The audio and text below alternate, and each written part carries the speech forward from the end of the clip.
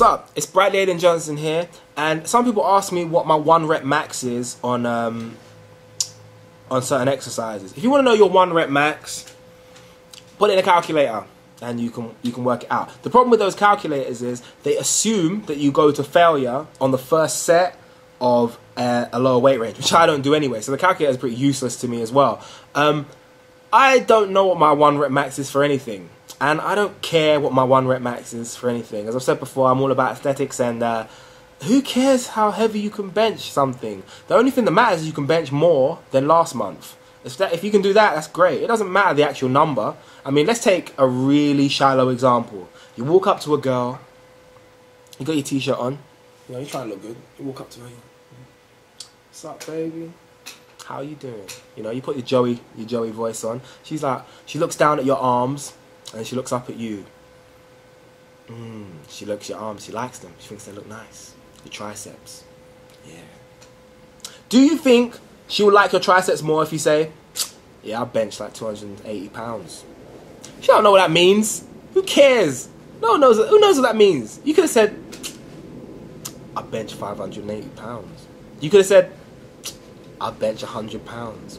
I bench a thousand pounds. They don't know. You know, if you, unless you don't, unless you lift, you don't even know what these numbers mean. No one cares what the number is. They only care how you look.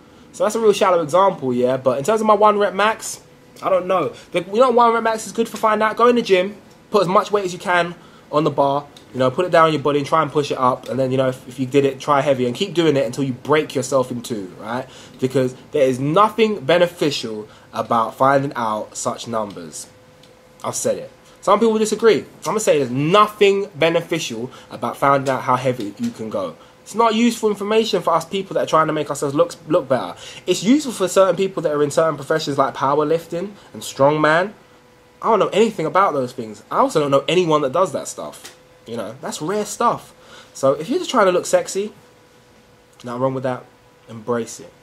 Don't worry about how much you can bench and how heavy you can go. Don't go heavy. I never go heavy. What am I going to go heavy for? I don't even have the weights to go heavy. Not that heavy, you know. I only got dumbbells at my, my home. I said, in fact, there you go. Train at home. It's a good way to avoid going too heavy and hurting yourself. That's my advice on that. Um, sometimes can you go heavy, do heavier sets to break through plateaus stuff? That's another topic. I'll get into that. I've never really experienced a strength plateau myself, but I'm, I'm of the understanding that sometimes going heavy will, of course, increase your strength, which can get you through a plateau, which can lead to greater gains in bodybuilding. But that's another video. I'll do that another time. My advice for going heavy, just don't, man. Don't. BradleyAidanJohnson at gmail.com. If you have anything you want to say, anything you want to disagree or agree on with me, or any topics you want to bring up, leave a comment on the page, do all those kinds of things. And of course, like my Facebook, like this video, follow me on Twitter, and of course, subscribe. Oh, follow me on Instagram too. Do that. Yeah. Peace.